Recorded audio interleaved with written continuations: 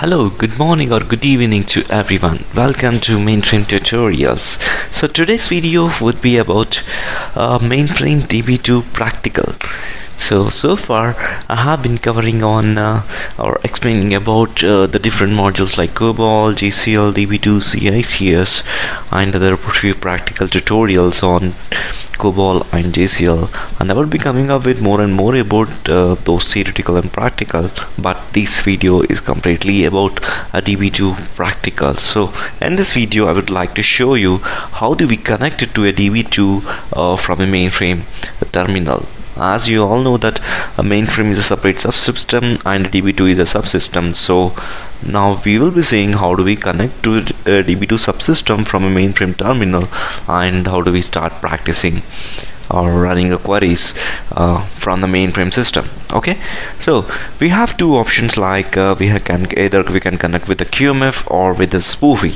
So today's video is about completely uh, explaining about the QMF that is query management facility.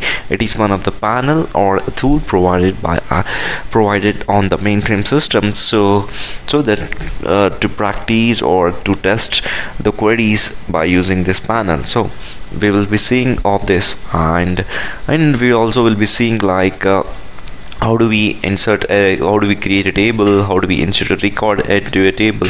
And how do we select a record from a table? Okay. So first what we'll do is we will try to connect to the mainframe and we will create uh, we'll see how the QMF looks onto the mainframe terminal. Okay.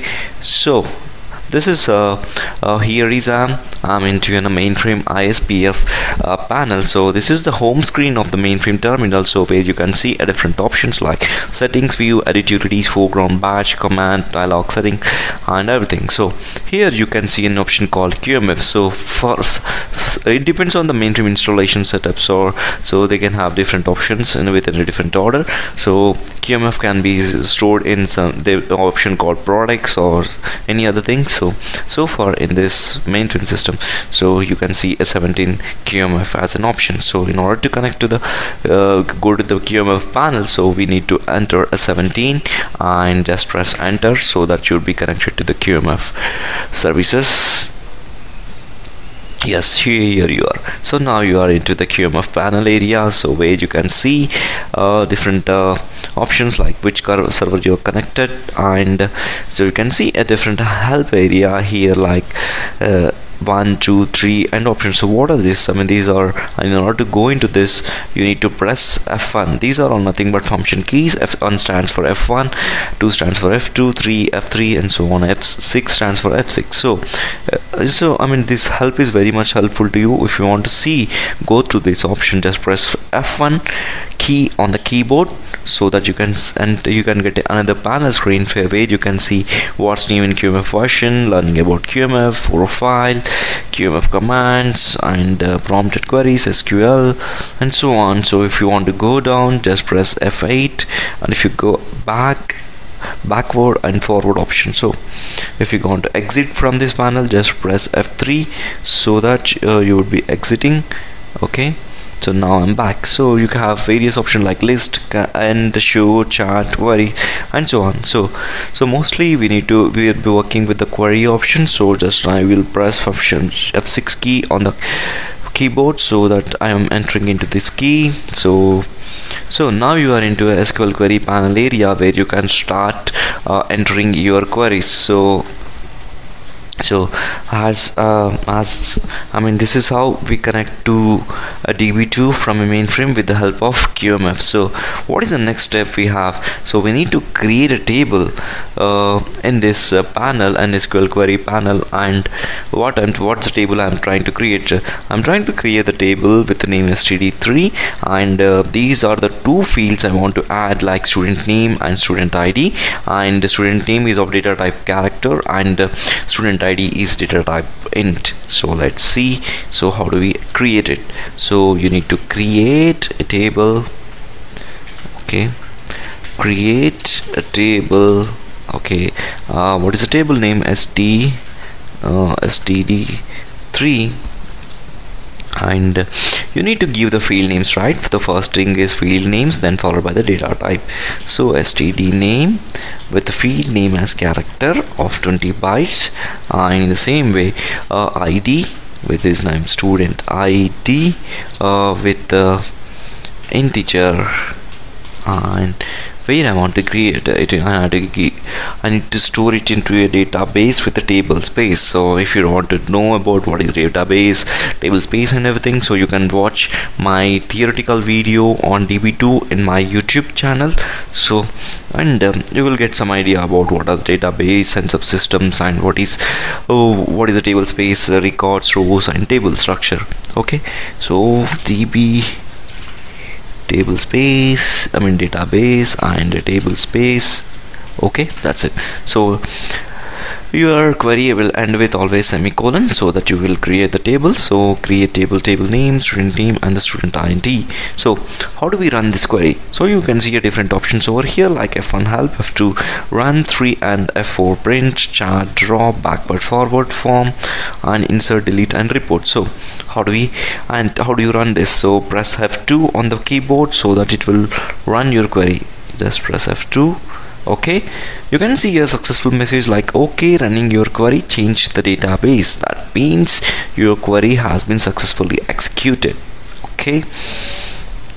So just make it a comment. So in order to give a comment so what you need to do is just give uh, two hyphen so that this query won't run. So just write just press f2 see the query won't runs okay just f3 and so that it will go back okay? Um, now what you need to do is after creating a table you need to check whether the query table has been successfully created. I mean you need you want to just inquire like what is the you want to inquire the table structure whatever i have given is correct or not. I mean if, if it is showing my fields or not and there is no data stored or no records entered into the table. So what is the query we need to select?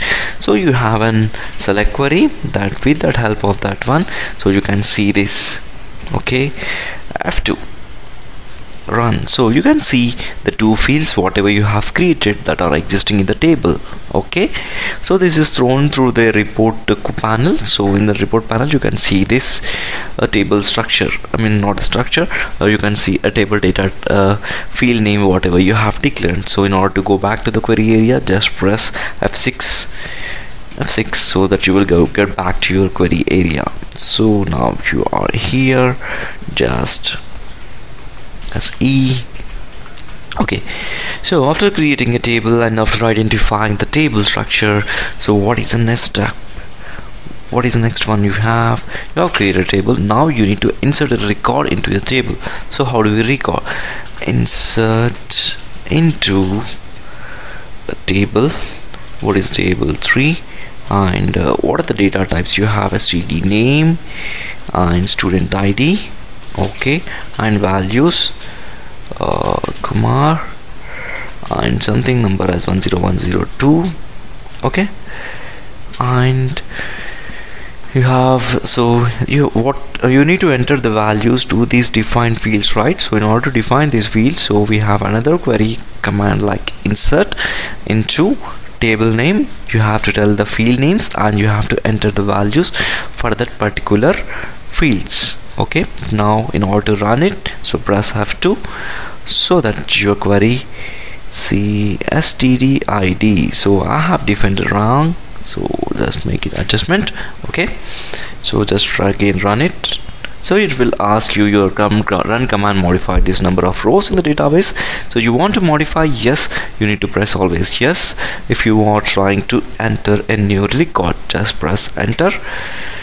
See you can see like okay number of rows modified in the database is 1 so it means that you have successfully entered one record into the table. So now we I want to check whether whatever the data I have entered I mean what are the records I have entered into this table so it is successfully entered and can I see the data?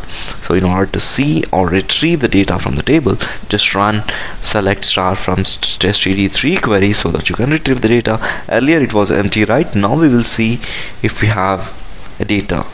Just press F2 here you go just you, you can see like uh, the student name and the student ID so you can see the records over here. So the record has been successfully retrieved from this. So how do we go back to the query panel? So press F6 so now you have successfully entered. So we'll try to enter a few more records. Insert into student 3 student name and something like John and 3 press F2 see enter. Another record has been entered successfully. Or now this time I will try to enter only student name. Okay. I will enter something like J O E S E P H. Okay. Press run.